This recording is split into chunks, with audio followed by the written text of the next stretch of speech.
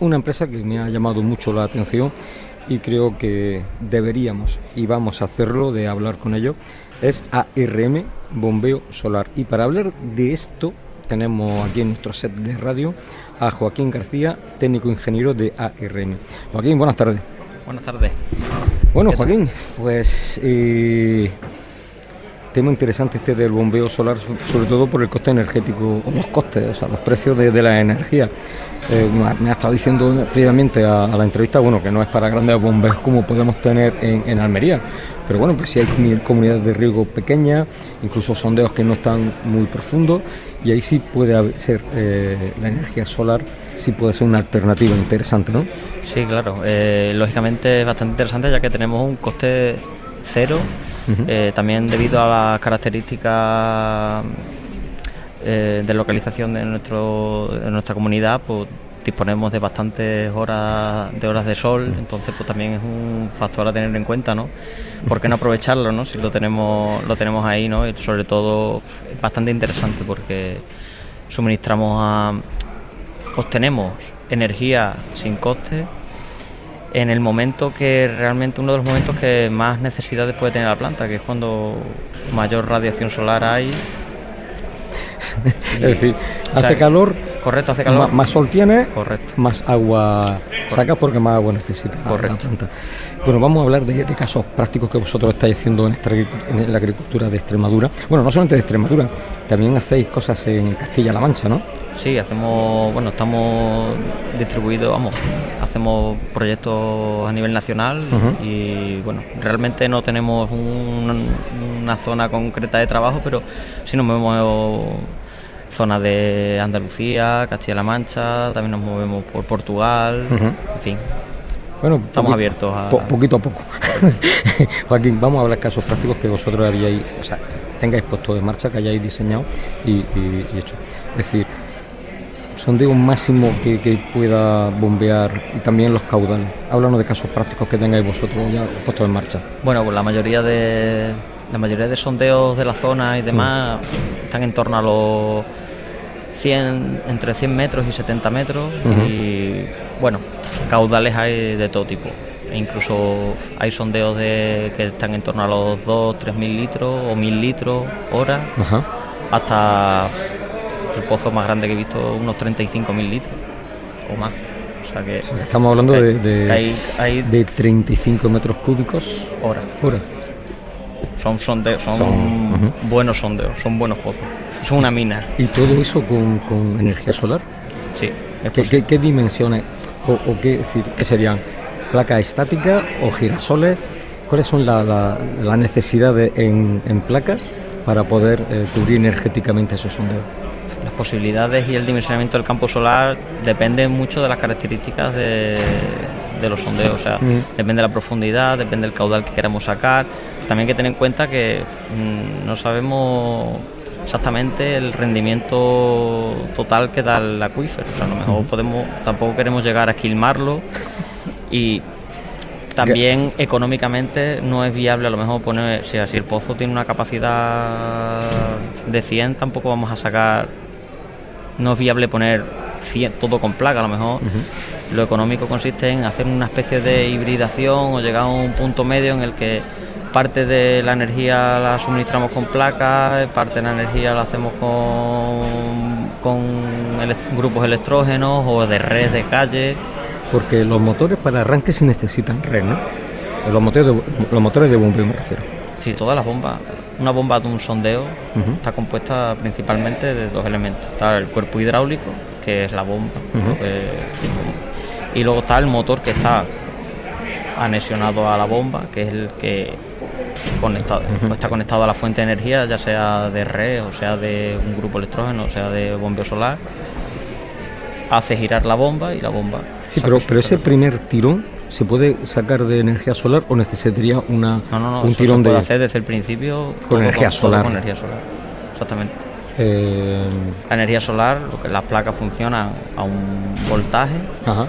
Se, hacemos en función de las potencias, pues eh, hay que calcularlo, en función de los equipos que se vayan a instalar y tal, hay que hacer una serie de conexiones en serie o en paralelo, eh, hay que calcularlo no, no, hay una, no hay un dimensionamiento estándar ni hay un catálogo que. O sea, cada sondeo necesita un estudio con una Correcto. capacidad de, sacar X y para eso se, se dimensiona eh, los campos solares. Correcto, es, por así decirlo, es a medida. Esto no es como si me voy a comprar un coche y, y, yo quiero el coche que tenga estas características y quiero la gama tal. No, esto hay que hacerlo bien.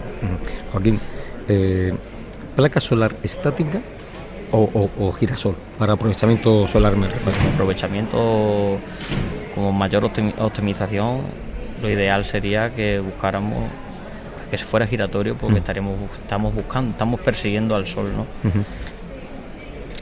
muchas veces es imposible ya no ya no solamente desde el punto de vista económico a lo mejor simplemente desde el desde el desde lo desde el punto de vista de las circunstancias del entorno en el que nos encontramos, a lo mejor no, lo imposibilita.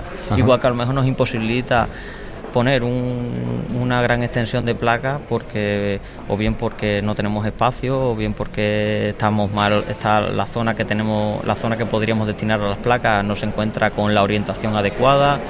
A lo mejor en esos casos sí que es más interesante optar por una instalación giratoria aunque sea más económica que en otro caso pero por eso cada cada instalación tiene su casuística y y es lo que lo hace complejo. las placas solares, eh, eh, o sea, hay gente que puede pensar que le da el sol y ya está cargando, ¿no? Así, es decir, necesita un ángulo preciso para que le den determinadas ondas solares. Correcto, esto necesitamos que esté a una. Se busca, depende de la latitud y la, donde nos encontremos. Vamos a necesitar un grado u otro y luego debemos estar cuanto más orientados al sur, en nuestro caso estando, que estamos en el hemisferio norte. De, hecho, eh, sí, bueno, continúa. Es que te voy a contar una cosa que he visto hace poco en un reportaje. Y eh, sobre todo se busca buscar el sur. Y luego, bueno, el tema de la inclinación también es muy importante, pero Básicamente, básicamente es eso. Hace, hace poco vi en televisión, eh, en un campo solar en, un, pantano que está muy de moda, de hecho en Alqueva, si no recuerdo, hay dos o tres. Eh, y lo ves desde, arriba y dices que es chiquitito, chiquitito. Mídelo, es bestial. Entonces, en una presa de aquí de, España, están haciendo diferentes eh, ensayos con, en un campo solar, pero de investigación eh, diferentes ángulos y, posiciones. Me llamó mucho la atención que había eh, placas solares en vertical a, doble cara.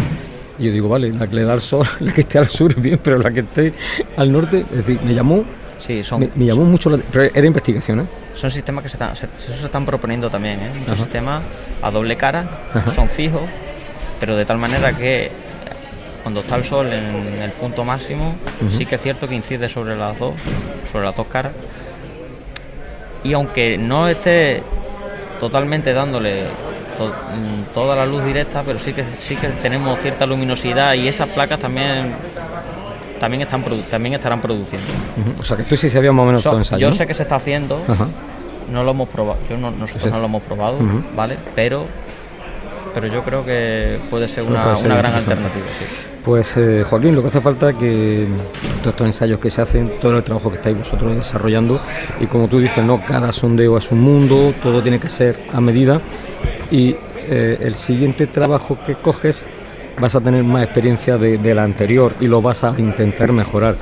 Pues eh, es decir, el aprovechar esa energía solar para regar los campos de la agricultura, en este caso extremeño, Castilla-La Mancha y, como no, también Almería, que es de donde somos nosotros. Pues por eso he visto eso de bombeo solar, digo, no me lo puedo creer.